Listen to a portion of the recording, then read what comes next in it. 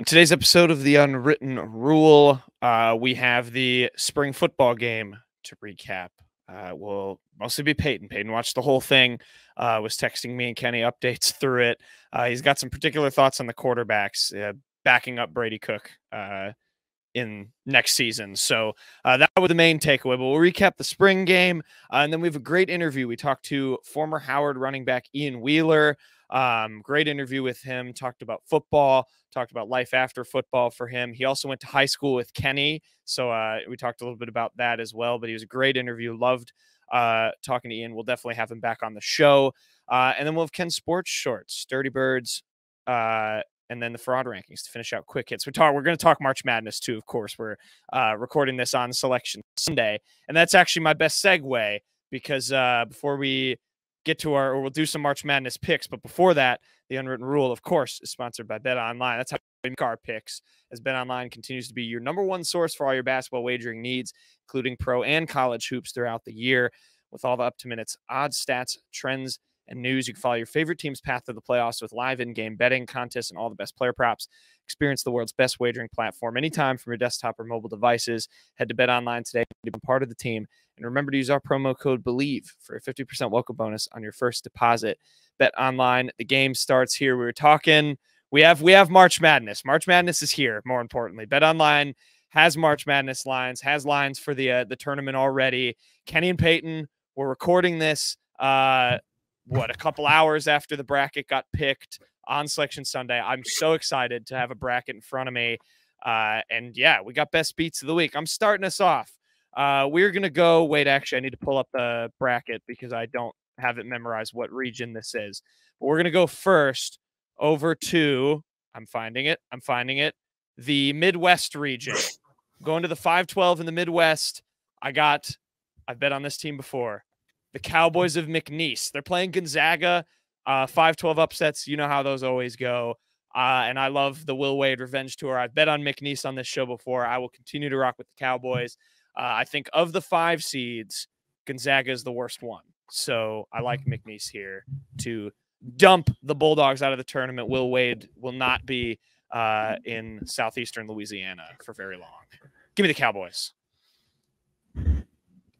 I'm gonna stick with you here. Hey, hey, oh, whoa, whoa, whoa, whoa! I'm always second. We go. I'm going we go now. Back to th- we go back to three people, and it already hits the fanboys. What are we doing here? Come on. So Kenny, go. Uh, for my pick, uh, Jack, what region um, is my game in? Uh, I will check. I will check.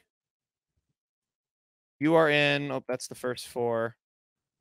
Hang on. It is a first four game. Uh, yeah, oh yeah, yeah. Well, so it's Dayton. You're in Dayton.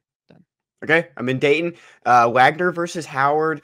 And I felt like, you know, this was an easy game to pick. I mean, how could I not pick Howard in this game after having Ian on the show? And you're to be listening to that interview uh, shortly after this. But I got some insider information from Ian Wheeler, who knew a lot of these athletes because he was also a student athlete at Howard.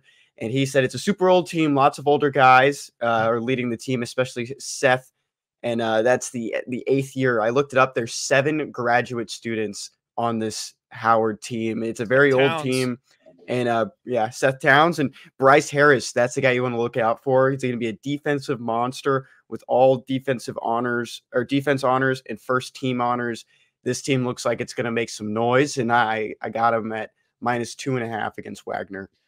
The uh, I'll add the winner of that goes in to play North Carolina. By the way, in the first round, um, and Howard also has jerseys that say the Mecca on them, which is our fire. So, go Bison. I don't know where this game is. It doesn't really matter to me. You can play this game in Lawrence, Kansas for all I care. But I am going uh, with the Samford Bulldogs plus six and a half versus Kansas.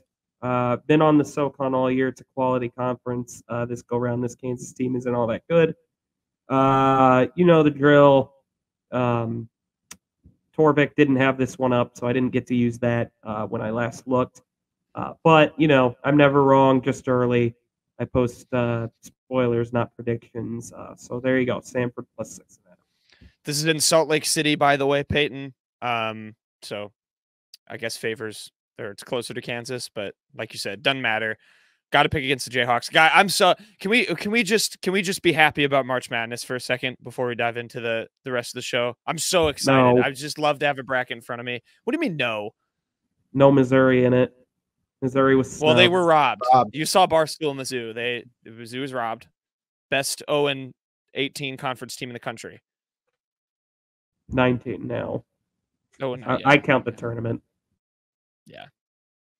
It was poor. I'm just I'm still excited. Uh, Mizzou will be Mizzou will be back. Dennis will figure it out. We have a bracket. I'm sure we'll do much more like with with Bet Online's lines. We'll do much more March Madness stuff, much more bets or many more bets, and have March Madness talking quick hits for the rest of the show. But with that, we've got yeah, you can see there as Kenny's sharing his screen. Go subscribe on the YouTube. Uh, Bet Online's got all the all the stuff for you. But with that, we'll dive into the Mizzou stuff. We're gonna dive into the main stuff of the show, uh, and the unwritten rule starts right now. I just, I... Marcel, where are you going with that disc? You are not putting that on again. Marcel, okay, if you press that button, you are in very, very big trouble. Attention. Everybody stop what you're doing. It's time for The Unwritten Rule, a Mizzou sports podcast brought to you by the Believe Network, alongside Peyton Haverman and Kenny Van Doren. Here is your host, Jack Knowlton.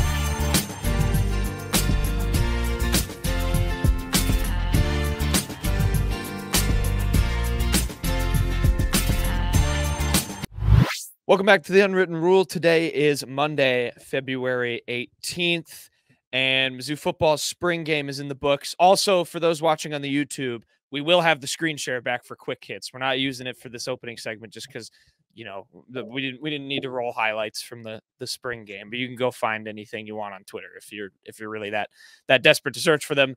But yeah, spring football uh, game in the books. Mizzou's a little bit earlier than the rest of the SEC. A lot of these other teams kind of have it a bit later. Um, but I, am going to kick it over to Peyton. To be honest, like like we were talking about in the intro, I've been watching college basketball all week. To be honest, and uh, I've been very locked into that with March Madness starting up. But Peyton, you were texting us some stuff about the spring game. We'll get into the quarterbacks, but uh, first off, you and then Kenny, anything you saw as well, just general thoughts on uh, what you saw from the Black and Gold game. Um, the receivers stood out pretty pretty heavily. I thought. Um, I thought Josh Manning had a nice day. There were two plays where Cook kind of threw 50-50 balls up for him that he didn't play well. Uh, well, he kind of did because there was one to the end zone that Jamarian Wade made a great play on. Probably could have picked if Josh Manning didn't strip it from him. And there was another that Cook was picked on. It wasn't a great throw, but uh, not a. I mean, he wasn't really able to get back in position to go fight for it, anyways. But Josh Manning also had a great high point. I believe it was over Marvin Burks, who was trying to um, come over and knock it away as Brady Cook just rolled out of the pocket and threw a dime to him. Uh, it was a great play. Uh, Brady Cook was operating with, I think his top three receivers were Daniel Blood, who made a few plays as well. He looked good.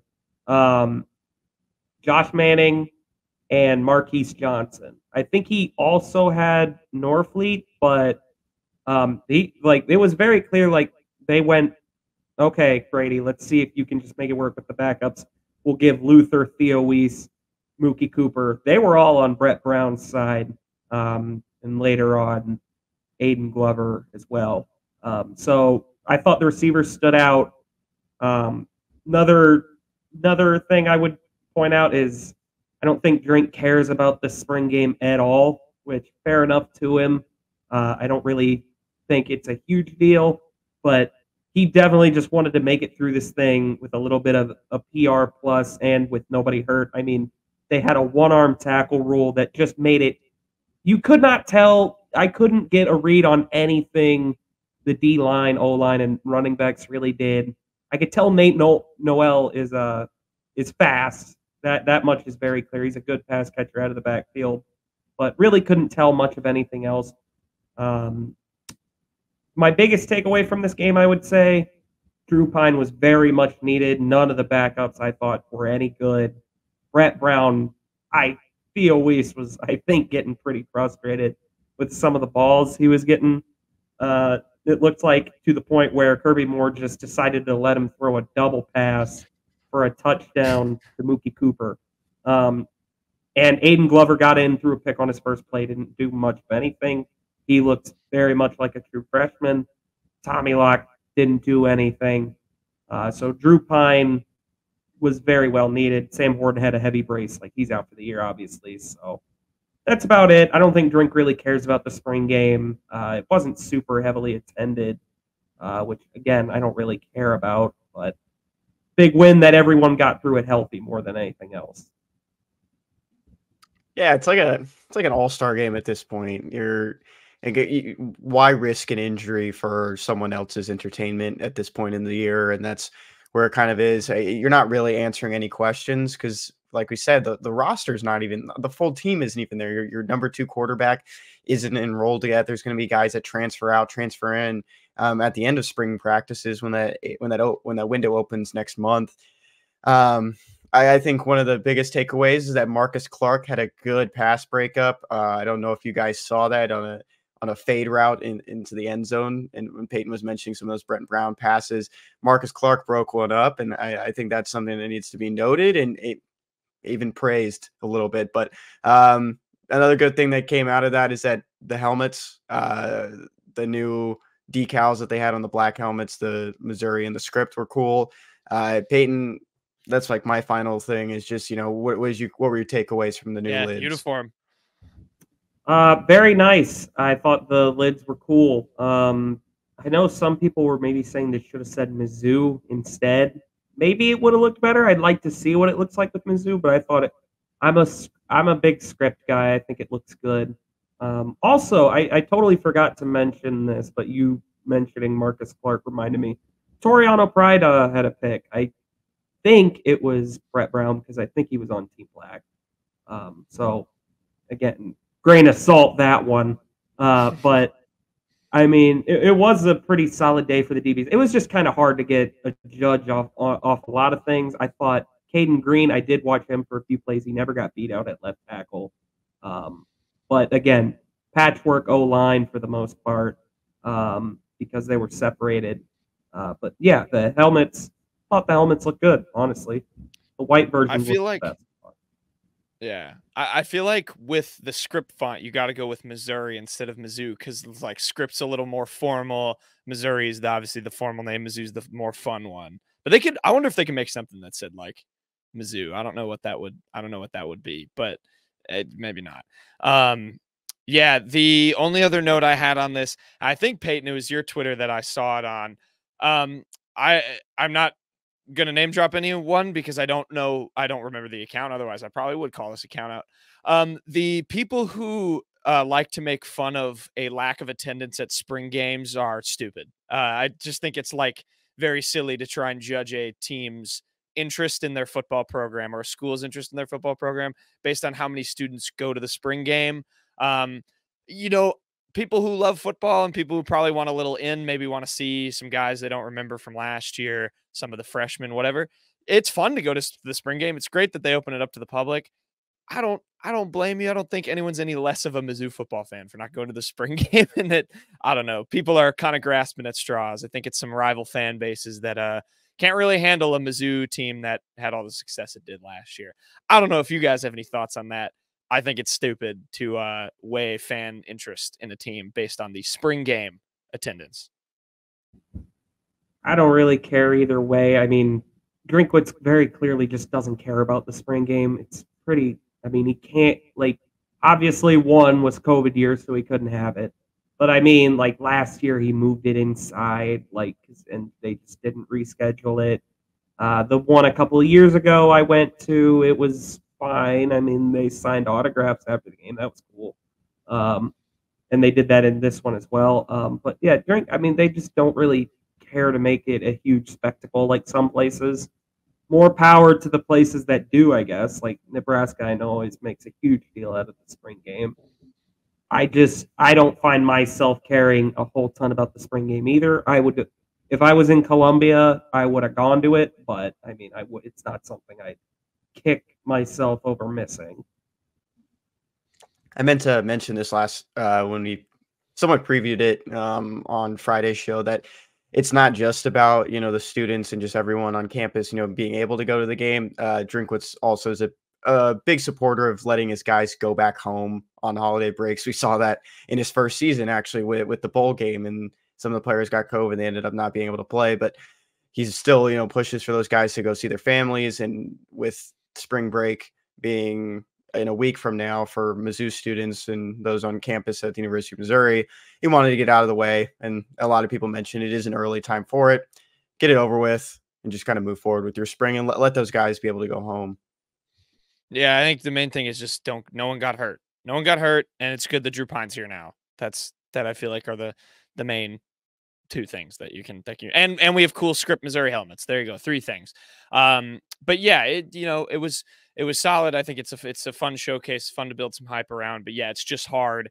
You know, it's not like basketball where you can do these secret scrimmages and play without risking these kids getting hurt and actually go live and stuff like that. Um, you know, it's hard to do that in football. So it's it's just going to be tough to tell up until we get to that fall camp point. But we'll still have stuff coming from spring camp, and then obviously the portal will be back open uh, for a short time in a couple of weeks. So you know, Mizzou's going to have some stuff on there. AD stuff still up in the air, still waiting uh, to see what what'll come down on that front. And now we're in now we're in men's basketball off season too, where we've got the you know the big names like I, am trying to think of accounts that do this on Twitter, but that tweet all the you know lists of teams that are interested in yeah Tipton edits all those you know people that are interested like interested in U, a UT Martin transfer and Missouri starting to appear on those lists, so that's fun. Uh, so any stuff that gets significant interest will be uh, certainly dissected by us as we want I don't know. We want a, we want an overhaul. BJ Freeman, UW Milwaukee, name to watch. He will be a Missouri Tiger. I'm going to manifest it into existence, whether Dennis wants him or not. Uh, anyway, let's kick it to ourselves, or me and Kenny at least. Doing a we had a good interview with Ian Wheeler, former Howard running back. Uh, we did hit him with the Mizzou question to start the show, but he's just a, a good a good guy to get a great perspective about the college football life and the grind of it all uh, as well as some of the stuff he's doing after uh, and his you know goal to kind of try and chase down the NFL. So it's a great interview with him. We'll kick it to ourselves. Okay, we now welcome on a very special guest. Uh, it is former Howard running back in a kick return, punt return specialist, if you will, Ian Wheeler. Um, Ian, you've obviously done a lot on the football field, but I think your most significant achievement is the fact that you went to high school with Kenny and had to endure that. So my first question is uh, how was he as a as a youth? And uh, I, I bet that was horrible. uh, first of all, good morning, y'all. I just want to say thank you for letting me have me on the show. But no, I love Kenny. Uh, especially, uh, I'm happy like with how I've been watching him. Like, not to sound creepy or anything, but like I've been seeing Kenny uh develop like since we were in high school to becoming like this like journalist and really stepping into his like stepping into his own. But yeah, Kenny was a little awkward in high school. By the time we were seniors, everything was cool though. Everything was fun. Yeah, it was tough when I was uh, five two when I entered high school, and then exactly. I think by the end by the end of high school I was six foot, and my friend Zach just told me that I really opened up once I got taller. But um, yeah, of course, Ian and I were in uh, yearbook together, so we did a lot of lot more of BSing in that class than actual yearbook and journalism. We had a lot more fun than actually constructing a book. But Ian, um, we are a Mizzou podcast, and I found a connection to Mizzou that's not me or another friend of ours, Connor, that also went to St. Thomas. You actually played high school football with a former Mizzou football player. Do you know who that guy is? And give you talking about Jaron. I am talking about Jaron Parker, who was a uh, walk-on linebacker for the Tigers in yeah. 2017 uh, that was I had to get that connection there to Mizzou, and that's who it was. For those that don't know, Jaron Parker is also a quarterback at Strake Jesuit, who was our rival, and then transferred to St. Thomas um, for his oh. senior year. And yeah. how many times has that happened in history? Uh, doesn't. Yeah, it doesn't really happen. doesn't. Yeah. Dangerous to cross those lines, but yeah, there you go. There's a good Mizzou connection. But yeah, Ian, you know, you obviously you were you were great at Howard. Um, you know, played running back. And I know think think a little receiver too, right? And then and then did you know obviously special teams, kick and punt returns. Um, you know, I, I guess just to reflect kind of on, on your time at Howard first and foremost. Like, you know, how how was that for you? Kind of getting there, obviously coming from Houston, it's a long way away. Uh, you know, what made you want to go there, and and uh, you know, how special was it to have a, a career there? Uh, yeah. So coming out of high school, Uh, and like Kenny understands where I'm coming from with this, just because our school wasn't like an upper echelon like athletic school, especially for football. Like we always had a bunch of baseball players, and yeah, that was really our thing. When we when we first got to St. Thomas, baseball was the thing. Like we had like Kevin, uh, like we had Big Yo, we had all these other guys who were going to the draft and stuff like that. But football wasn't really a big thing until our class were seniors because we had me, we had Peyton Matoka, we had Dylan Dix, we had Hunter Cheeks. Like we just had people that ended up pushing our school's name further so that recruitment was easier. But for us, for our class, it was a lot more difficult to get recruited because of our small school and because in Texas football is king, but because it's not like other states where private school and public schools together, they kind of like put private school off to the side, like, oh, they're just mm-hmm. they're not as good. So even though I had a really good year, my senior year I had like over a thousand rushing yards or whatever on like limited carries. I would ha- average like nine yards a carry or whatever. Um, I still like recruiting was light. It was like mostly Division three schools, and I talked to some of the coaches at the D three schools, and when we spoke, uh, I asked him like like bluntly, I was like, "Do you think I should? Do you think I'm good enough to play D one?" And he was like, "Yeah," and I was like, "Okay, well, well, this is done then. I appreciate you and everything. But um, I took a chance walking on at Howard. Yeah. Uh, I walked on. First year was a little iffy, you know, just trying to like find your role, especially like coming in as like someone like during training camp. Everyone else already knows each other and everything like that. Brand new coach. But eventually, we got a new coach. I mean, a new uh, a new head coach following that, and I found my role as like a running back, as a um, as a dynamic player, and you know earned a scholarship.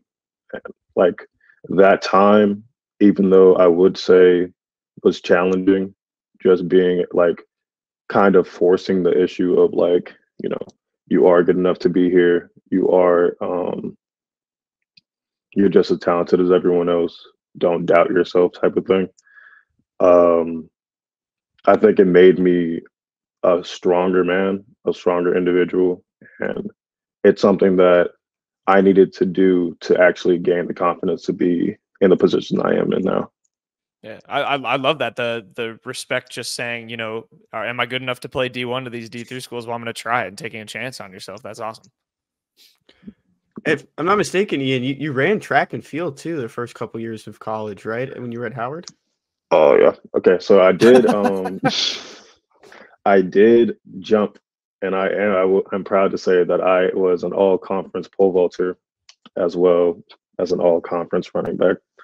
But uh, dude, like if I'm being honest, track track in college is crazy. track in college is so nuts. Um, because it's like you know I'm a jumper, but you can't just jump every day. You have to run, and then like because I played football too, like that's first spring semester it was right before COVID. This was like the this was horrible. Oh, so yeah. I took I took um I didn't go straight to football to track because I was like, okay, just play football for 11 weeks. My shoulders are messed up, my wrists are messed up. Let me just chill out.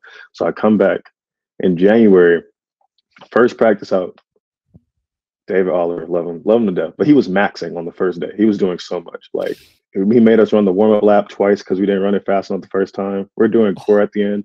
He's like, oh, I thought football the football players don't work on core because I'm struggling because I haven't done any of these things before. He was just great guy, great guy, great coach. but I just like when I realized I was gonna have to do this because I was it would be a day where okay, wake up at five. You have we're working out at the track teams, working out the facility, come back, go to class, whatever.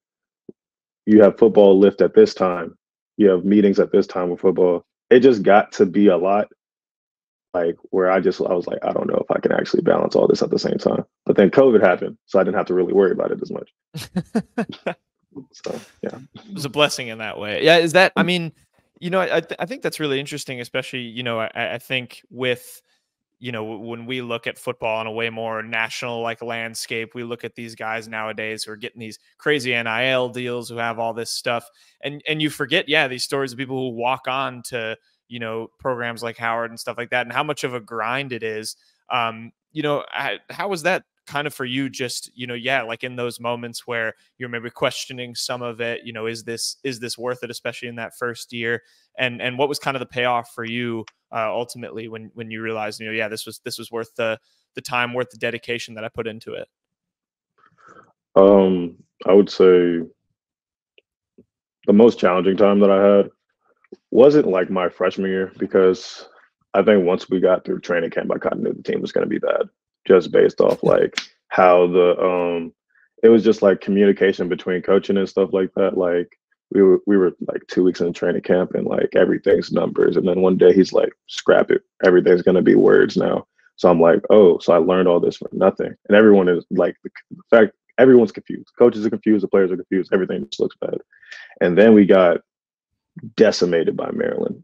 Like I think it was like 79 to zero. And I was like, okay, so we can't do anything. Like, we don't even have pride. We can't even, like, like, it's hard to go out there and not put up like a fight. And it was just like, okay, well, this year's a wrap. But following that COVID, like, we had a COVID season in the spring, like, didn't really count for much. And that was probably like the toughest time that I've had, like, playing football, just because you know, I'm isolated. It's just it was just athletes on campus or like just athletes in the area and they're like isolating us and making sure we can't do certain things. People are sporadically getting COVID because they're doing stuff they're not supposed to. It's just like training camp. It's like it was like training camp for like a month and a half, like like way longer right. than it was supposed to be. Like we're going full pads all the time. We're hitting all the time, and you know sometimes it got to the point where it was just like difficult. You think you're getting better, and even if your coach agrees that you're getting better, you're not good enough. So you're not seeing like the time that you want to see on the field. Like you're doing great in practice, and it's just like, well, what does that even mean if like I don't get a chance to actually play? So, um, I thought about like honestly, I thought about quitting, man, just because it was it's really like mentally taxing to focus on something so much and not see any results. Right. But, you know, that's where like controlling the controllables comes in and having the mental fortitude to be like if not if not to say that I'm strong enough to get through this, like we finish what we started, but strong enough to like like believing yourself. I think that's the hardest thing about any of this because it's like in track or in golf or in swimming, all these like individual sports, like you understand that you control everything. Like mm-hmm. like I go out there, I run my race. No one else can run it for me.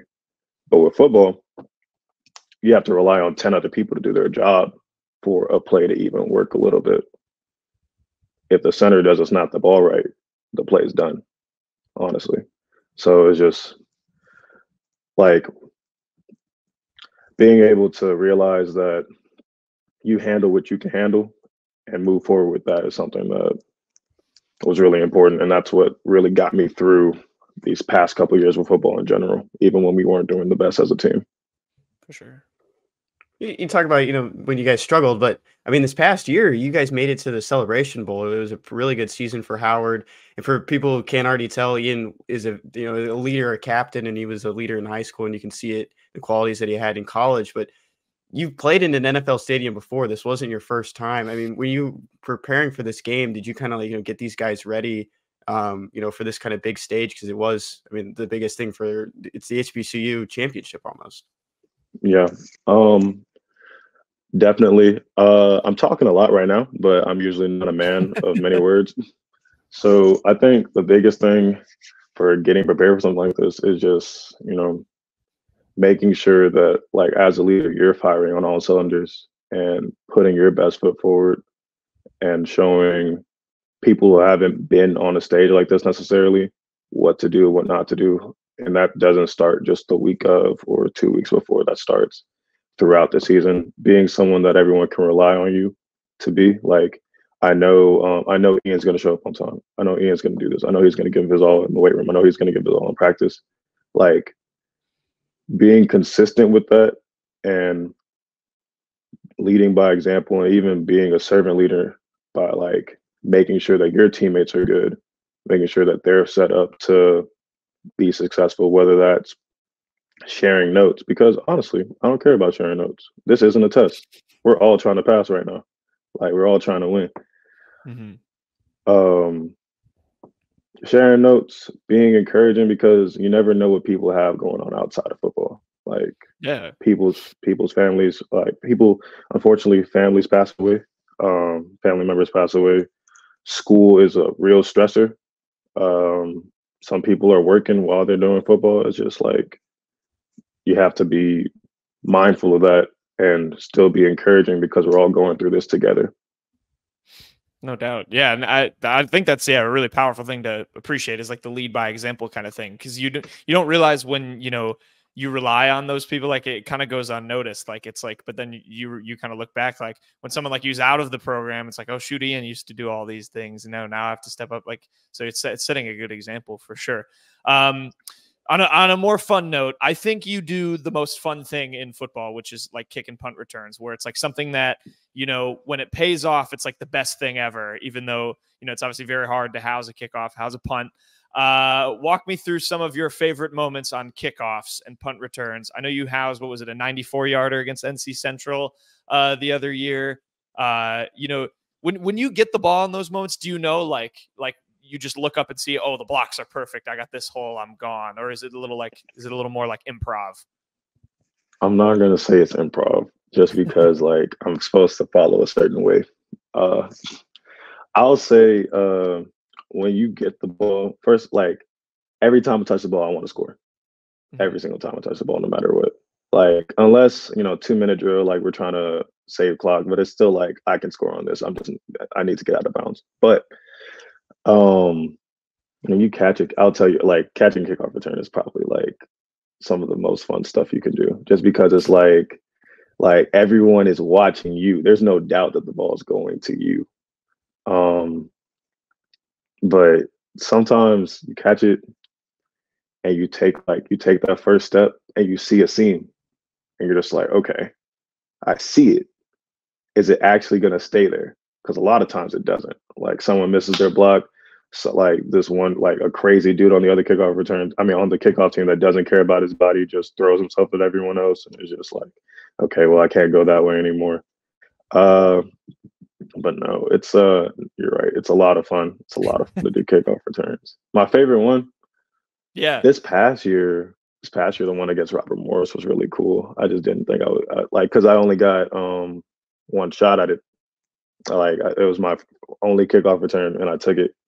And then after that, they stopped kicking me the ball, which is respectable. I get it. um, that one was really good. And then my first, my first was really good because it was homecoming, and oh, that was nice. like the play that like turned the game around. It was just like, oh, okay, like we're like we're going now, we're rolling. Yeah, that, that makes the difference in the game. People don't know three phases, like break a game yeah. open. Special team, special players is what I keep hearing on social media, and that's, I mean, that's what you're you've become, Ian. It's like this uh, Swiss Army knife of what you can do. And when you're preparing, I mean, you're preparing for the next level now. Um, you've been working out. We've we found some time with you right now because you've been so busy getting ready. But um, when you're kind of you know pitching yourself and you're you know showing film, do you kind of just like you know say like you're this mold of guy like you know Dare Ogunbowale who was a you know a specialist, but he can also be a running back, or somebody like Matthew Slater who does it all on special teams. Like, are you kind of pitching yourself? You know, I'll, I'll plug in wherever I can go. Um, absolutely. Just because knowing that I'm coming from a smaller school and knowing, um, like we had a like backfield by committee and everything like that, knowing that my running back numbers aren't as high as some of these other guys. At this point, it's about putting myself in the best position to make a roster and to um, play professionally. And when it comes to that, being versatile is like one of the most important things. Like, yeah, I can run the ball, I can run inside zone, outside zone, power counter, but I can also take a kick return to the house. I can also go on punt and make a tackle as a gunner. I can go on kickoff and do whatever you need me to do. Like it's like being versatile and being available are like the most valuable things you can be because then someone else doesn't have to do that job. like he can just do it all. Right. Yeah, that's sound. I I draft I draft him. We need. We, I don't know. We can't. We don't have any connections with NFL teams, but we'll tweet film. I don't know. We'll get Thank we'll you. get Ian Wheeler's name out there. um, I I want to ask. I have a I have a fun one, and uh, you know I'm sure we'll have a couple more football questions. But I'm looking at your bio uh, on just Howard, and under under why it chose Howard, it just says it's because of the black squirrels. Is I love how this comes this up like every a... interview. what? Every interview, I every interview I've ever Everyone done, they asks. always ask me about this. Uh, dude, well, like, okay, so yeah, basically, I uh, I was visiting Howard the summer before my senior year, and I was walking around campus, and like we're t- we're just walking and talking. It wasn't a formal. Well, no, it was a formal interview, and like it was just a handful of us. And she was like, "Yeah, we have black squirrels on campus," and I was like, no, you don't. Like, don't lie to me in front of all these people, right? And we pass like a building, and all you see is like a black squirrel leak out. And I'm like, is that a rat? That's the first thing I thought. Like, is that a rat? Like, why is there like what is that right there? It's a black squirrel. And I was like, this is like one of the most unique places I've ever seen because it's like, you know, Howard's HBC. I was like, they got black people, they got black squirrels. Life is good, like good vibes. so I would say that was something that was attractive. I'm not going to say it was the biggest reason why I came to Howard. I'm not going to lie to you guys, but it was something that was definitely really cool because that only happens res- in like two parts of the country. Yeah, I respect putting it as your bio to be like, I don't need to do a real reason. I'll just, I'll just say that. Why not? Yeah. Yeah. Yeah, I, I think the first time I saw one was in Michigan, and I was like, "This is just not real," because I've grown up and they've always been like silver or gray looking, it's like it's yeah. it's very like weird to see one because they just don't look right almost. But um, Ian, you played five years in college, and you were a part of you know the era of college football that there were so many extra years of eligibility. It was a COVID year thrown in. Did you have another year? Like, could you have gone back for a sixth year? No, my freshman year we used. I was a special teams guy, so I used all my eligibility. I played like ten games that was going to negate my next question because if you did have another year, I would have had Mizzou put in a transfer request because they could use a they could use an elite return specialist. Um, you didn't know, yeah? How can you how can you not have known in five year and five years ago that, that someone else will be calling? Um, well, yeah, and, and we kind of touched on it, but your goals for you, you know, to kind of get to that next level. I'm I'm curious kind of what that process looks like, you know, for someone who obviously, you know, there's there's not the draft combine. It's it's a little bit of a a smaller scale thing. Is it kind of like, you know, like you said with high school, it was more you had to put your tape out there, really kind of uh, you know, put yourself out there because, you know, your your school at the time wasn't uh, you know, attracting all the big coaches and stuff like that. Is is it kind of a similar process now where you're you're kind of pushing really hard to get in touch with coaches, scouts, whoever you can? I'll say that this past year made it a lot easier. Um, the this in the season 2022 season, we had a share of the MEAC title. So because of that, like teams knew that like NFL teams knew that we were good. We had a couple prospects on the rise, like our left tackle. He was at the um, combine. His name's Anim. Um, we have our safety this year. His name's Kenny that's coming out this following year. Uh, that was funny. My bad. Yeah, Kenny Gallop. but uh, uh, there's a lot of talent on our roster. So this past season, there were a lot of scouts that were coming into our building. Like we had a scout or two every week, and just having the opportunity to put yourself and show how you work in front of those scouts is major. Outside of that, like for me personally, and for a handful of our teammates, they had uh, an HBCU combine in February, the week before, the weekend before the Legacy Bowl. So I got an opportunity to speak to a lot of teams there, um, did some interviews, and then showcase some testing numbers in front of them. And I would say that went pretty well. I got to I got to impress again during the Legacy Bowl. I would say Legacy Bowl, I was probably not gonna I'm not gonna be conceited, but I was probably one of the better players there. I think I got to showcase that, like even in an All Star game type situation, I was probably one of the more um, thorough and like talented players there. So um, outside of that, you know, we have our pro day coming up on the 28th. So it's just been like you said, it's been a grind, just trying to make sure that I put myself in good situations. And when the opportunity presents itself, like, don't be surprised by it, you know? For sure. Ian, I mean, how much would it mean if you suited up in a Saints uniform at some point, even just a camp invite? So, okay, if I'm being honest, like I wanted to talk to the Saints so bad. They didn't want to talk to me, and that's fine. I'm not tripping about it. Like, you know, an opportunity is an opportunity. But if I got a Saints jersey, I would probably cry, like on the spot. Like if I was oh. in front of like Ben, like Mr. and Mrs. Benson, and I had to like sign a contract, and it's just like, yeah, like you're a New Orleans Saint, at least for today. Like I don't know what happens tomorrow, but like today you're a New Orleans Saint. I would cry and like, like I don't know, that would be great. I, I would love to play for the Saints, but not to yeah. take anything away from any other NFL teams. I've just been a lifelong Saints fan my entire life. Do not take what I'm saying. I want an opportunity. I don't need the Saints. any team will do, but the Saints. Any yeah, team that, will do. That was I, I was gonna ask like, what's the dream? Uh, what's the dream scenario for you team wise? But yeah, the Saints that would be that'd be sick. They they, they could yeah they could use a could use a dynamic returner. Um, yeah. What's your favorite New Orleans Saints memory as a fan? As a fan, Dude, like this, um, I'm really trying to make sure I actually give you a real memory and not just like a picture because that Reggie Bush pick, like that Reggie Bush play is iconic where he like jumps over the guy is iconic. So I'm not gonna do that one. Give him his Heisman back. Yeah, probably. Um, there's probably just there was this play that Drew Brees had like no, I take it back. It's going to be an Alvin Kamara play. It's the play where he's just jogging. It looks like he's jogging. He caught the screen. He broke like six tackles, and then he just like kind of walks into the end zone. It's either that or there's a play where Drew Brees, when he's like 37, like gets out of two sacks and then dives into the end zone. I forgot what team they were playing, but it was great. Yeah, those are my two. I remember the what Kamara if, play. That was wild. What about the uh, NFC Championship game against the oh Rams? Oh and you know what?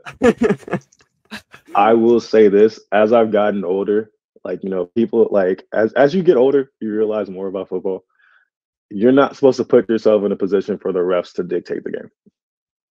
So it's like, while that was a bad call, like one of the worst calls I've ever seen in my life, and we should have gotten the first down and just like and the end of the game right there. You're not supposed to put yourself in a position. There were mistakes that happened earlier in the game that put us in a position where that was critical. And I'm not mistaken too. They had opportunities after the flag too. I think. Yeah, yeah exactly. So yeah. Um, but like I will say this, like when you get a crazy call like that, it does take the wind out. Like it takes the wind out the stadium. It's just kind of like wow, because like the Superdome got quiet because that doesn't make sense everyone's just looking at you like there's no way these zebras just called that. But have you ever argued with a ref? Or do you try and no. do you try and keep an even keel? I guess it's harder to happen. It doesn't happen it's, as much. It's not. It's like that's not my role. If someone wants to argue with the ref, let it be a coach or a quarterback. They can talk all day. I don't. I don't have time to talk to a ref.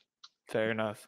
I, am I'm, I'm curious, Ian, just because like you know you're obviously just a super smart guy, very mature, and, and like you know I, I know NFL's a dream, but what, what would be the uh, what would be the dream gig for you uh, if if NFL doesn't work out? Do you want to stay kind of in football and maybe coach or do something like that, or what's the what's the dream?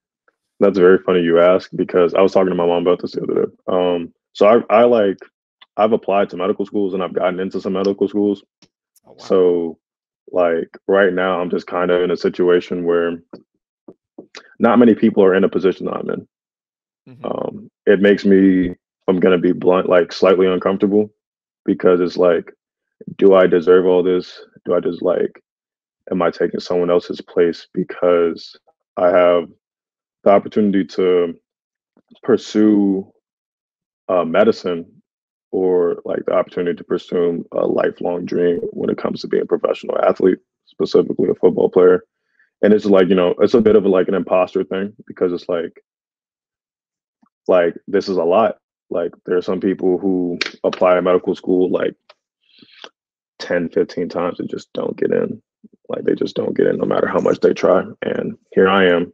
Got I got into um McGovern in Houston. It's like a really good school um, part of the UT system. So like got into McGovern, got into my alma mater, know, Howard, and it's just like it's weird. It's weird because it's like I keep saying it, but it's just like I feel like I shouldn't have this much, but I understand at the same time that I did work for it. It's not like this fell out the air. Like I did. I've been doing this since like high school. I've been putting myself in the best position to succeed since high school, and it takes a certain amount of discipline and honestly a certain amount of luck too to um, be in a position like this. So yeah, that's that's kind of where I'm at with it. That's great. You you'd be like a Josh Dobbs, like you know everyone everyone calls him the Passtronaut because he's you know a super smart guy as well. That, that yeah, could be a. That's he's so freaky for that. Like I'm not gonna lie to you, NASA at the same time is so crazy. yeah, that is wild. That is wild. Well, I mean, Ian, if you do go the medical route once the football, you know, once your football career is over, and we hope it's not over anytime soon, um, what do you what do you want to be? Are you, like, what's the medical path that you're, you're thinking of? Uh, right now, I am set on being a psychiatrist. Got good books in here. This is actually very random that this popped up. Go. This book's about trauma. Good book. Y'all should read it. It's actually it's written by a doctor. It's called The Body Keeps the Score. It's written by a doctor, but it doesn't sound doctory. It's actually like pretty good right. for the most part. Uh, until you get to the back end, the back end does sound kind of a little doctory. But outside of that, like really good read, really interesting read. Um, but yeah, psychiatry, just because like you know, mental health is something that is on the rise, and I think as men, um, that's something that at times we neglect a little bit, whether we want to admit it or not, just because of the men that raised us or the people that raised us in general or the situations that we had when we were younger. So, um, knowing that and keeping that in mind with mental health becoming a more valid concern, you see like more of it every day. Uh, I like to be a part of that new wave to not necessarily. I want to keep taking steps towards mental health, but like a lot, of, another big thing is like the opioids and certain types of drugs that are slightly concerning, just because you know they're not the best for you they're not good to get addicted to um, so being a part of the next wave that focuses more on like mindfulness and other types of skills and techniques to be able to improve your mental health and work through things like that so yeah awesome. that's where i'm at with it yeah. I, I think that's especially great too as, as like an athlete, you know, that that's a big thing I feel like in sports is is, you know, athletes' mental health, especially in college. Like you were just talking about the grind you had to go through. Like, you know, that takes a toll not only physically on y'all, but mentally. I, I just think that's great and a, a great thing to uh to pursue. I think that's the first book recommendation we've ever had by a guest on the show. Also, so we appreciate that. We're we're we're broadening our horizons. We need to get smarter. um I'll, I'll, ask this just uh you know we talked about kickoff returns um other any other favorite memories whether it was getting one over on uh arrival scoring in a big game um you know your time at Howard any any other any other big moments stand out or any other funny moments on the sidelines too I always I always wonder what you know guys are joking about when they have some time on the bench especially in football um good memories I would say um honestly, some people have like these photographic memories when it comes to the game, and they know exactly what happens. I do not like, do not remember that. Like, I, am gonna be honest. Tell that to like, Sean McVay when he interviews you. I will not. I'll just like he. I'll just be honest. He's crazy with I'll, that. Yeah, no, he like like when I've seen those interviews where he's like, yeah, it was this, this, and this, this, how much, this much time left on the clock. We call this, this, and I'm just like, no, I'll just remember what my job was. If I'm being honest, I'll remember what my job was.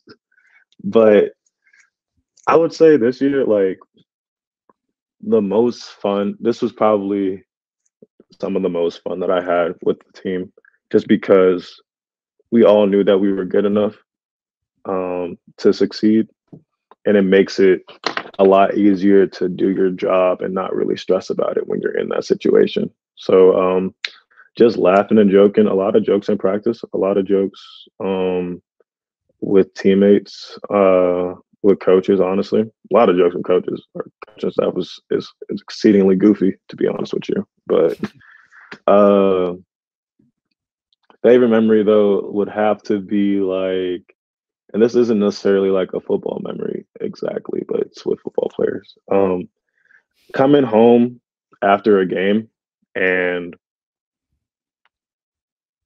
like we're all it's just the ride back. It's really the ride back every time. Yeah. Um, especially after winning something like after beating a team that we're no we're, you know we're supposed to beat or something like that. Just like, yeah, guys, like we're doing this. You hear like like the wide receivers in the back just cackling and stuff like that, just doing the most outrageous stuff, and then everyone in the front's trying to get sleep. It's just the, like it's the little moments like that, like team dinners and um like sessions in the weight room when we're playing like you know miles in the weight room is just a lot of fun. I'm glad you got that because I didn't know his oh, name yeah. until like two or three days ago, but I was playing it in the car. It was actually such a mess. But he's got some uh, bangers. Uh, bangers is crazy, but I'll, yeah. I'll let you rock.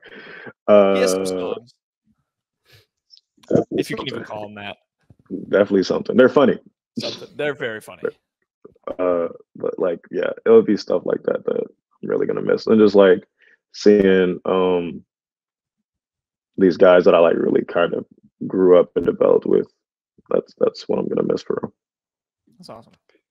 Ian, I have uh, one last question here, and I don't you don't have to do the whole song because it is a pretty long one, but can you do the St. Thomas High School alma mater? I uh, I did we did this with Josh Wolf, and he did not remember it at all. I was trying to get him to sing it, and Josh was he had no idea. I'm really I give you the first couple. It. I can give you the first okay, couple. St. Thomas uh. Men of St. Thomas. And then you. um, oh my gosh, you're saying this at least more than once a month. No, yeah. I know that, but it's just like I was just uh I'm trying to remember. Um mm, mm, mm, dude. oh.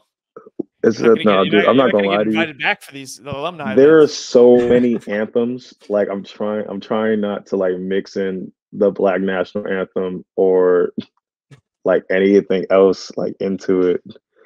I, all I know is that like it ends with the dun dun of St. Thomas High. I remember that. And I think we did like this. We did like a fist bump in the air. I, I don't remember, but uh, I think yeah. uh, man, I, I guess I am just a little more proud for. I think I said more pride I, for. Our, I for wear my gear everywhere. I, I wear my gear everywhere. I promise you, I wear my gear. I just do not remember the song. I feel like if I was in a situation where there was like 30 of us, I would mm-hmm. pick it up once we got started going like into the groove. I would pick it up and start remembering stuff. But no, I that's crazy because I haven't thought about that song in over four years. that's uh that was like the same thing with Josh. It, it, felt like he was gonna pick it up. He did not know a single word. Like I got through it like halfway, and he wasn't even doing it with me. So at, at, least you you would admit that you you could uh, possibly pick it up over time. Possibly. Possibly. Well, you know, we'll we'll have uh, we'll have our friend Connor McGovern who played with you at St. Thomas. You guys will both come back on, and I don't know, figure it out together. Maybe we'll get Josh. We'll get that big room of all former St. Thomas athletes. Kenny can be thrown in there. JV soccer player, cross right. Country, cross country guy. Ran cross country. Yeah. I got I got a D three letter once. And actually, it's funny you say that. Our uh, Ian and I's friend Juan texted me uh, last night, and he said, "Remember that D three school that offered us?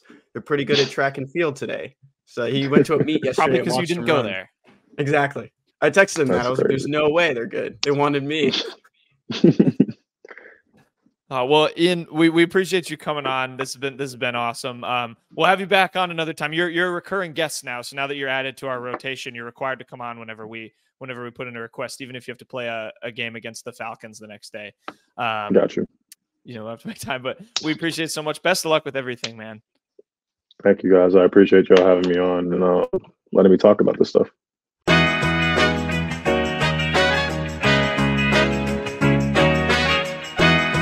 Okay. Thank you to Ian. That was this is a fun interview. I want to have him back on. Uh, you know, talk football, especially when he gets signed by the Saints. Uh, quick hits time. With that, we'll segue. Kenny, uh, you have Ken's sports shorts. I. Th- we're going to bring up what we were just talking about off air before we hit record again. I can't believe you don't have a Sporcle quiz about March Madness on Selection Sunday. Yeah. I know Mizzou's not in it, but that's ridiculous. Yeah, but I think this one's cool because if you saw the news recently, and it's very unfortunate, and I feel I feel really for the bad for the people who work there because now they just are probably without a job at the moment. But there is a very well-known Noodles and Co. that, um, I mean, there was a fire there today, and that just made me think about like what other places in Columbia, like if these places like would it disappear? I mean, I'd be pretty sad, and I feel bad about that right now. So I thought about some other places, and I found the Sporcle about Mizzou landmarks, and I thought it would be pretty cool if you guys could name each one based on the clue. All right, yeah, that's not bad. That's not bad. Fair. Ken's Mizzou shorts. That is a good question too. My one number one answer would be a place that is burned down already, and that's the Shack. Mine would. What's your? That doesn't yours count. How does that not count? You cannot say that. You can't say no, that you've I never been. It, no, I think it counts. I think he's saying like the the modern the the, shack, like the modern we, yeah. Shack. Like if that went away. Yeah. You're saying you were saying the regular shack. You said it's already burned down. Well, but yeah, because it he, burned down once. Meant, yeah, like I know the actual shack. But the down, way you made it sound is saying that you're missing the old shack, the original one that burned down. No, I'm saying the one I would miss now is the shack because the shack, like the branding, that building, the original shack burned down. It was connecting. Okay. It was a segue. I, I get what I think I get. Knowlton got it. I think I got it. Kenny, what would your place be that you would never want to have burned down around Mizzou? um, well, there's a lot of brick buildings, so that's not like none right, of those are going to burn down. We know that's impossible. Um, I don't know. Let's say the uh, third floor of Lee Hills, Lee Hills Hall, okay. north side of campus. I have my off-campus one. I don't know what my on-campus would be. Probably the rec. I wouldn't want the rec to wear it down. No more basketball. Off campus okay. would be the understudy. If you know, you know. Let's do it. Ready? You want to take you want to take yeah. turns, Peyton? Because I'm looking at these and I think we're gonna knock this out pretty quick. Yeah. Can you zoom in just a bit whenever you start it, Kenny? Okay, yeah, that's good. All right. Peyton, you can go first. Yeah, that's uh this building is the newest addition uh to the J school. So that's not Lee Hills, is it? Lee Hills isn't the newest. Um is it Reynolds? Yeah, RJI. Yeah, RJI. I don't know if. Yep. Yeah. Okay. Okay. Yeah. Uh, this would be the Hearnes Center, the home of Tigers volleyball. Is that how you spell Hearnes? No. E A R. E A R. Oh yeah. It's on the building, man. Come on. Faurot Field. Mm. Or oh, no, Memorial no, Stadium. No. Memorial Stadium. Pete Bland was that's so. Yeah, that is wrong. What a That's shocker! Yeah. whoa, home. whoa, whoa, whoa! No, they play on Faurot Field. They play on Memorial Faurot Stadium. Field. This is Pete Bland is is quaking in his boots somewhere. Um. Oh, is this That's just Jesse one. Hall? Oh, we should say the questions too for the people listening. This building hosts the university's concert series and houses its administrative offices. Uh, it's yeah, Jesse Hall. Should be. Landmark, landmark divided into north and south. Into north and south. is it South Columbia? is it South Hall? like North and South Hall, Center Hall? I don't think he would be that detailed. I don't know if it's going into this which landmark. landmark? Is it's is it ti- Tiger Avenue? Isn't Tiger Avenue north and south? That's probably a dumb answer. No, no, okay. This landmark is divided in. The, do you have any idea, Kenny? Mm-mm. Just keep going. Let's go next one. Just keep going. Uh, okay, well, venue, Mizzou Arena is the next one. Yeah, the ven- the venue is the home of Tigers basketball in Mizzou Arena. This landmark boasts a giant statue that many students ride. It's just the oh, tiger statue, isn't it? That's the tiger statue, yeah. You guys all took a photo on the tiger statue, right? What do you call that though? Oh, What's oh, the, fountain. the fountain. The it's a fountain. Yeah. No, but what doesn't have a name? Tiger Tiger Fountain? Uh, I feel like we can look that up. Like we know yeah, what we're talking about. Nothing's here. popping up. This dining facility is housed in Johnston. Oh, that it's Sabai. It's a Sabai. Do you know why yeah. I know this? It's because Kenny and our good friend, or not Sabai. What's the name of it? Sabai? It's not Sabai. Is, is it not Sabai? What's the name of it? Sunshine? No, that's Sunshine Sushi's in the. Oh, it is Sabai. Oh, Sabai is, is definitely in Johnston. How old is this? It's not. I don't know. You picked it. Up. 2017. 2017. Uh, okay, well, well I the, thought I well the main library on campus is Ellis. Let's just get that. One. Yeah, that's Ellis. Way. This building houses the Honors College. Oh, I know exactly I where it is. It's it's on a. how to tell that we were not in the Honors College. Yeah, it's in that. Yeah. Well, no, or it's it like, on the Lowry Mall. It's on Lowry Mall. It's big. Yeah, sign. it's on. Yeah, it's. I can't remember the name of the building though, which makes us look like idiots. Yeah, we're not in the honors. None of us were in the honors college. Oh, okay. okay well, President's original tombstone, Thomas Jefferson. Okay, so we need the landmark divided into north and south. The one that the giant statue is the fountain. I just don't remember what the fountain's called. Official name. Dining is... facility housed in Johnston, and the building that houses the honors college. The dining facility is Sabai. Like I, it is Sabai. Like now it is. I'm gonna look up um, how to um, spell it. It's S A B A I. Mm-hmm. Didn't, didn't um, work. Yeah, I, I, saw that. Yeah, you're right. And I always, I always remember that because Kenny and Chase didn't think you could, they could go in because they weren't girls. um, did did it did it replace something? It, it had, had, to. have.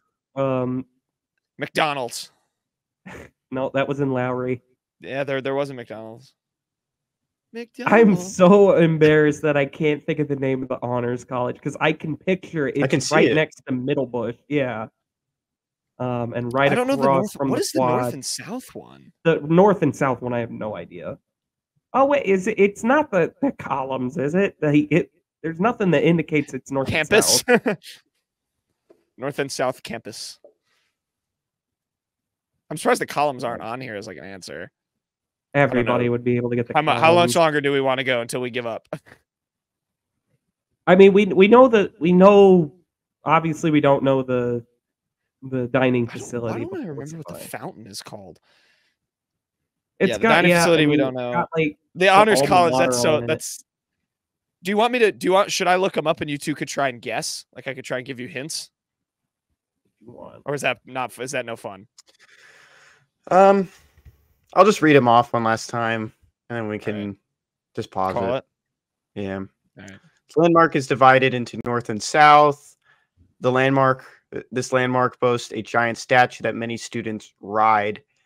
This dining facility is housed in Johnston, and we believe we have those two. Just don't know the official names, or maybe names were changed. And then this building houses the Honors College. We know where it okay, is. Wait. Just don't know the name of it.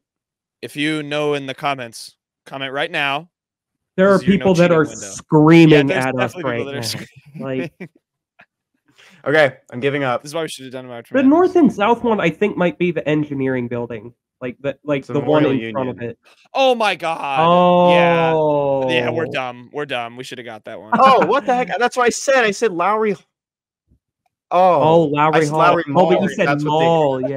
Yeah. yeah. Eva J's hmm. isn't a thing. That's made up. Look that up. Tiger Plaza. Okay, that makes sense. Oh, that's Tiger Plaza has the best called. view on campus, and there are a lot of good. So wait, wait. For to, to go over, so the landmark divided north and south was Memorial Union. We're dumb. People were definitely screaming about that one. landmark that boasts the giant statue is called Tiger Plaza, and then the dining facility housing in Johnston, Eva J's. That's before our time, and then yeah. the building houses the Honor College Lowry Hall. We said it was on Lowry Mall, which is on Lowry Mall. Yep. Says goodbye. Hello to new meal. That was in 2011. This is the man eater. What do you Shut think? Up, Brandon Grammer. Is he related to Andy Grammer? you found him. It, I don't think Coach Grammer. Don't think this is brand the, our Brandon Grammer. Hmm. This is ridiculous. Type Mizzou next to Wait, yeah. go back to the man eater article. Well, I mean, we saw it. It's 2011. It's gone. What kind of no? What kind of thing was it though? Because this quiz was made in 2017. I'm not gonna lie. So I know people. No, no, no, no. Pasta primavera. That's what it used to serve. Huh. There you go. Go read Brandon Grammer's article on the Maneater from 2011. You don't have to go do that. He's 13 years old. I think he's good.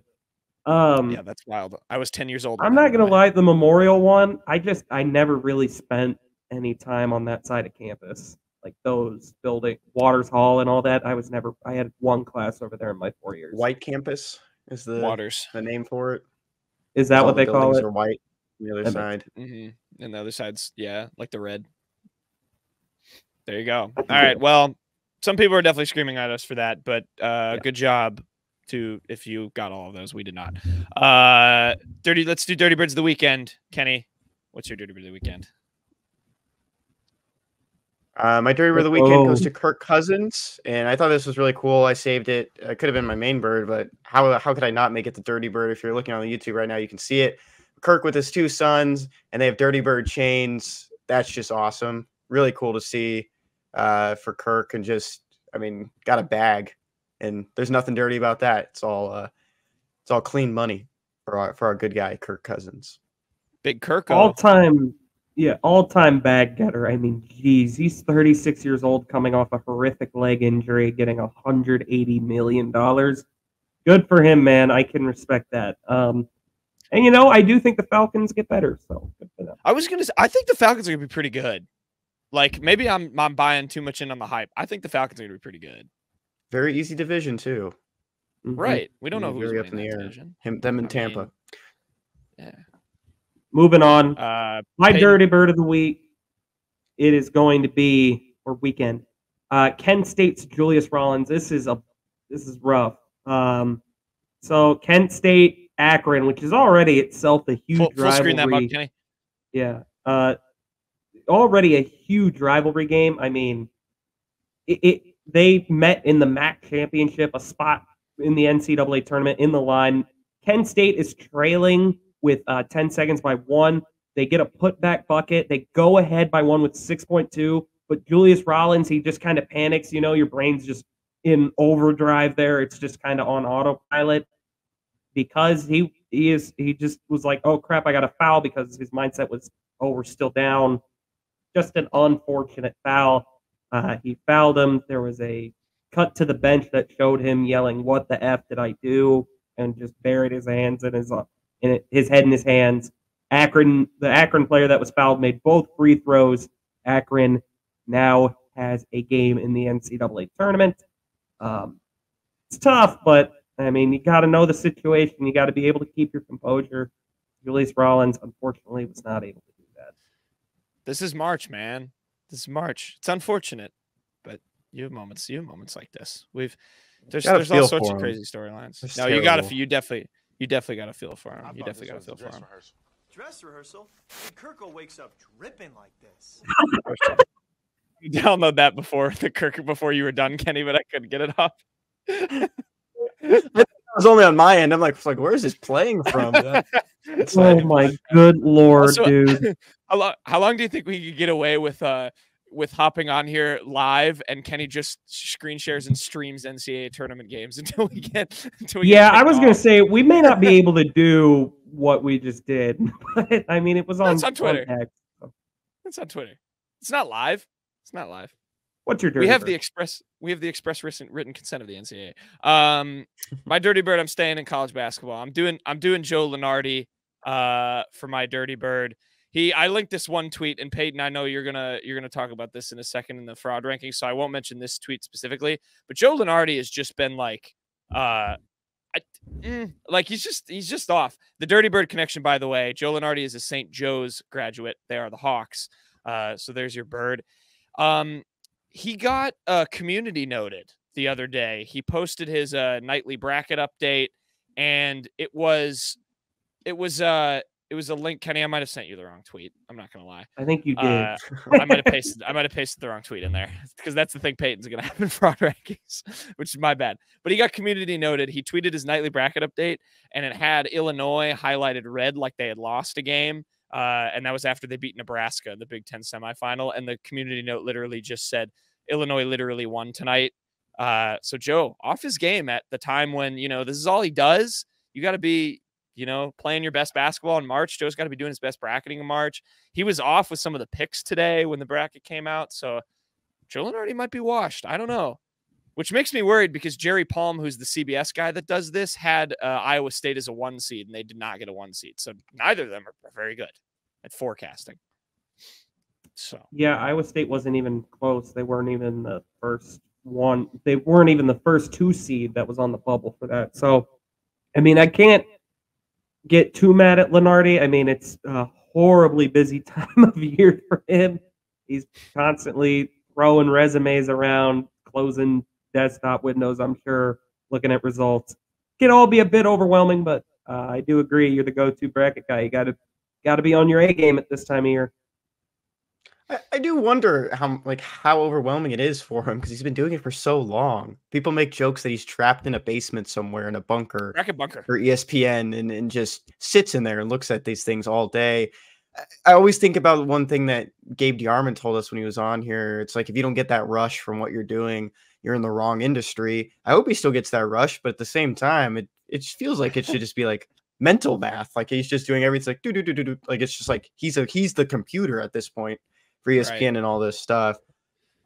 I, I think I think we should knock on him. I think this is this yeah. is one of those things. You're going to get relegated, Joe. I think I think someone should step in, and I know a guy that's really big into basketball, and he's on the show. He's he's biting at your heels right now, Joe.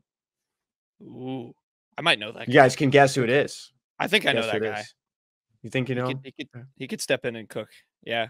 Yeah. Yeah, Joe. Joe, you're being coming after. Um. All right. Yeah, that's it's tough, tough, tough season for Joe Lunardi. We're gonna have a uh, more bracketology as I accidentally. Sorry for sending you the wrong tweet, Kenny. Bad graphics. It's okay. Bad graphics to pull up. Uh, next. Uh-oh. Oh. Oh. oh. Uh oh, Kenny. Uh oh, Kenny. Time? What time is it? What time what is time it? is it, Kenny? It's not o'clock. oh man. Oh my goodness, brother. Wow. Uh, all right, we're starting off in number five. 21. Can you do something for me? Can you win a conference championship for me? 21. 21. Not apparently. Can 21 uh, conference tournament number one seeds? That's right, folks. 21 seat number one seeds in their conference tournaments did not win their respective conferences. Bad day to be a number one seed. It says in the headline on your screen. It was a good day for brackets and bid stealers. Those on the bubble, not so much. 20 number one seeds. You are some frauds, even if you made the big. Gotta gotta throw a party for my seed ones. You know what I'm saying? Uh, moving on to number four, uh, we got Pitt basketball. We touched on them earlier. That horrible, horrible uh, non-con strength of schedule. They um, Pitt basketball after they were rightfully snubbed from the NCAA tournament uh, decided to to give a middle finger to the uh, where did my graphic go to the NIT bracket. Um, they they announced that they were wrongfully snubbed and that they will not be going to the NIT like they're UNC or some blue blood. Pitt, you are Pitt basketball. You lost to Mizzou this year. Too bad, so sad. Uh, basketball is um, the number four fraud the league. Number three in the fraud rankings. Why is James crying? Because he just got dunked on. I went to a bar last night. The bouncer saw my shirt, and it was Bad Boys Are Back in Town, old Detroit Pistons shirt. He said he misses that era of basketball. I swear this guy was only five years older than me. He never lived through that. And he said to me that LeBron James ruined basketball, and he's a fraud. He's yeah. a baby. And the game is not competitive anymore because of LeBron James. Wow. Yeah, the quitter. Bold take. Bold takes. Jordan better. Uh, Kenny, it sounds like you're uh, that guy's of the week because I disagree. Number two. Nah, nah, nah, nah. Nah, nah, nah, nah. Hey, hey, hey. Good riddance to the bane of the Big Ten and the biggest man in the Big Ten, Zach Edey. He was eliminated at the semifinal stage of the Big Ten tournament by the Badgers of Wisconsin he was just a foul drawer. He's a fraud. He's so annoying to play against. He's tall, uh, and I'm so glad he's not in. This does not look like a foul to me. Well, this really just looks kind of clean. Shut like, up! It doesn't You're the front of the week. Shut up! Fun, but Stop it! That looks What's clean. Number one, uh, number one we're we went way over time because Knowlton decided to to say some stuff about uh, Zach Edey and Purdue. Uh, the selection committee and really their originality. Uh, that's that's the number one fraud because in both the men's and women's uh, NCAA bracket. Nebraska and Texas A&M, they're playing, folks. And why is that funny? Because Nebraska's AD Trev Alberts just took the job for Texas A&M last week. Um, so there's a bit of blood, bad blood there. Um, also, bonus uh, shout out to the committee for being frauds for not doing the right thing and putting the Missouri Tigers in the CBI. There you go. Good frauds. Uh, Peyton, that's a foul. What are you talking about?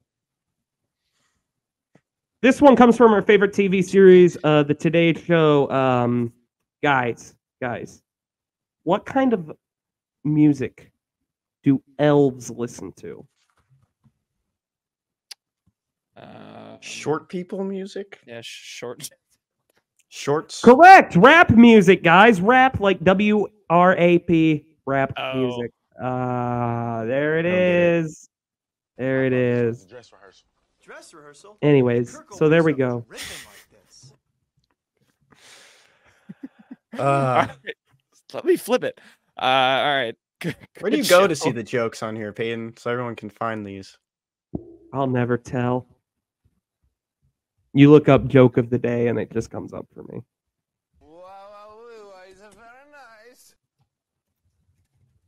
Joke of the day. 7,000 results. Oh my God, we got seven. You should. Why didn't you tell St. Patrick's Day joke? Yeah. By the way, happy belated St. Patrick's Day. This isn't the article I use. Tell a funny. St. Where do leprechauns joke. play baseball in a little league? Patty long legs. Oh, these stink. What do uh, yeah? How... Wow. What do horses wear for good luck shoes? That's funny. That's, that's a good bad. one. No, that's, that's you're not even trying. You're not even trying. That is a good one. I'm gonna remember that one. it's gone off the rails. All right, let's end this. Let's end this. Um, hope everyone enjoys March Madness. What are you looking up? I don't know what he's looking up. Uh, you don't know. You didn't okay. see what the words I, on I his can, screen I can, said. I can, I couldn't see what his screen said. All right, he's. Why is he just running away? Stay in here. What are you doing? Um, yeah. Let's end the show. Hope everyone enjoyed. Uh, enjoy March Madness. If you're watching, Mizzou won't be in there. Uh, we'll have any news that comes out, maybe maybe in the AD search front, um, and anything else going on. Basketball transfer news, maybe there'll be a bunch of guys entering the portal now that seasons are gone. Oh, the other thing I meant to mention with March Madness, um, Long Beach State, who made the tournament uh, after parting ways with their head coach. Do you think uh, Mizzou might do that with Dennis next year? They'll go like Ofer and then win the SEC tournament, and then they'll be like, "Well, we're gonna fire Dennis," Long but then Beach Mizzou goes on a miracle run. Huh? Long Beach didn't go over. Ah, yeah, I guess they didn't go over. But like or Mizzou have another bad season, they'll fire Dennis, but then they'll make the tournament, and then that'll be his last hurrah. You're muted. You're muted, dude. Good lord. Under CY Young. There you go. That's all he wanted to say. All right, we're done here. Hope everyone uh hope everyone has a fun and safe week. Dress rehearsal. Dress rehearsal. Let Kirk send this one off. Big Kirko wakes up dripping. Kirko wakes up dripping. We'll see you on Mon- Mon- Friday. Oh, I botched that. We'll see you on Friday.